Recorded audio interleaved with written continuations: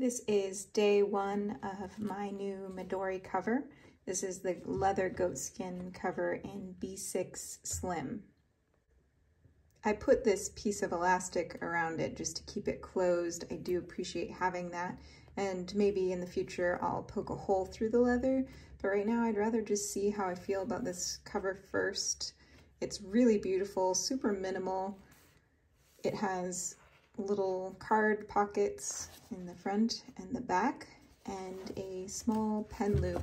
The thing that I really like about this pen loop is that it can be tucked away really easily, minimally when not being used. But I do appreciate having a pen loop often. Most of the pens that I have are way too fat for this pen loop, however, so at the moment I have packed inside the loop a Rotring 600. I can't wait to see how this journal cover patinas and wears and darkens with time. Its first three days with me have been on a camping trip, and so this is some of the new wear that has occurred. Not much else otherwise. The pen loop is definitely stretching out a little bit now. Okay, it has been a full week with this cover now, and I think it has darkened just a little bit. It's difficult to tell when I don't have a side-by-side -side comparison but I do think it's a little bit darker than the day it first came to me. Not much else to report. I think the typical wear and scuffs and markings are starting to appear. I'm about halfway through my journal now, maybe more than halfway. Really enjoying the Midori and the B6 Slim size, by the way. And also really enjoying this pencil. I have discovered that it is the perfect unit for writing because I can hold a bunch of extra lead inside the body and an extra eraser, which is just amazing. It's a funny thing, I have experimented with so many different writing tools over the years, my whole life, really. Uh, and this is actually quite perfect. How to mature vegetable tanned leather. Because of its bare condition, stains on the cover will be easily noticed when you start to use it. It is recommended to expose the cover to sunlight at a window with plenty of sunlight before use. In two or three weeks, the color will gradually change to beige and then amber. During this process, a protective coating is formed on the surface, which provides resistance to stains or a certain degree of moisture. The longer it is used, the deeper the shade will become. All right, it's time for another check-in. It's February 27th. We just got back from a week-long camping trip, so this journal definitely got some sun and new stains and marks. We got snow and rain on this trip and sunshine as well.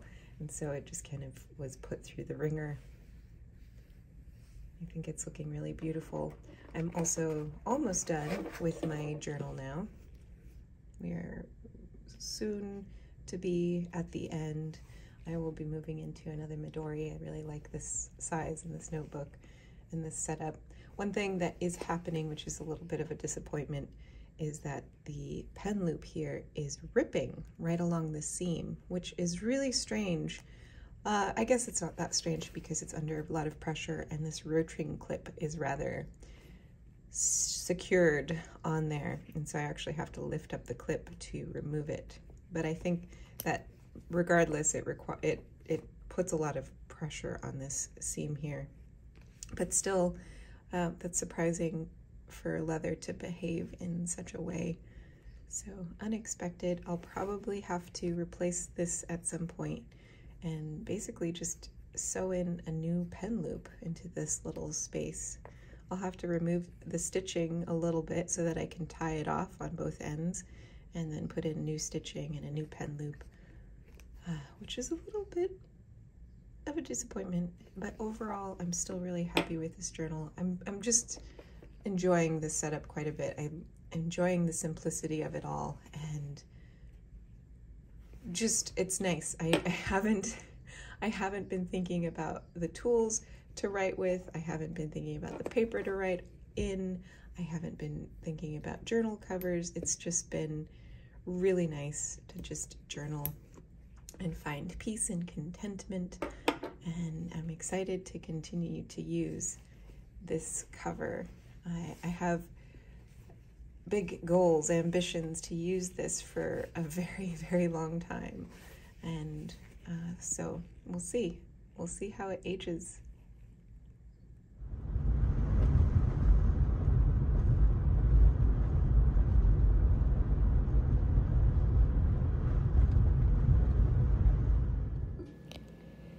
Today is March 4th, the day that I move into a new journal. And also the day of my grandma's memorial service. And I spent a lot of time this morning reflecting on my life with her and who she was as a person. And I realized as I look around my house, I am surrounded by things that she gifted me throughout my life. These little things that show that she was thinking of me,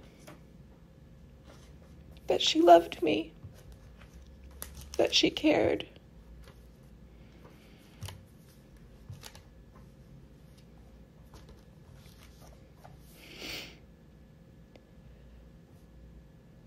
Recently, in my journals, I have been incorporating my planner.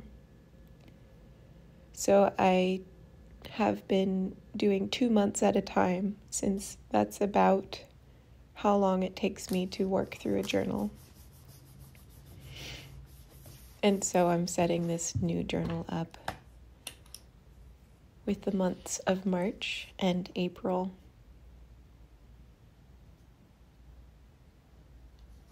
was a good, quiet morning for reflection. To say goodbye to my grandma. To say goodbye to volume number 65 and hello to volume number 66.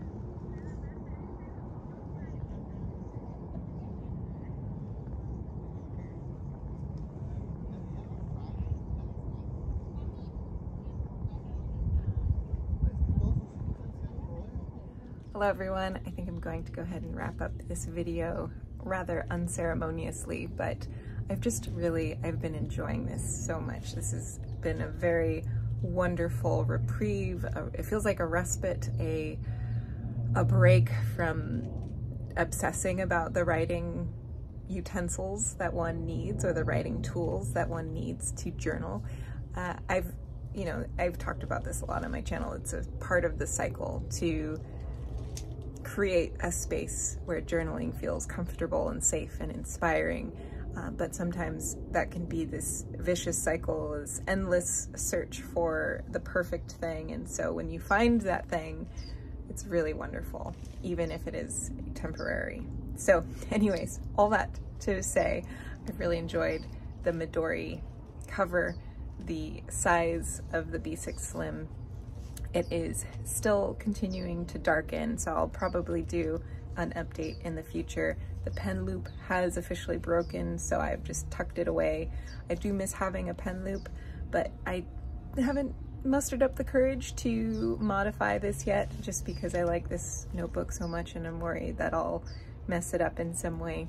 So anyways, thank you all for watching and I'll see you all in another video. Bye.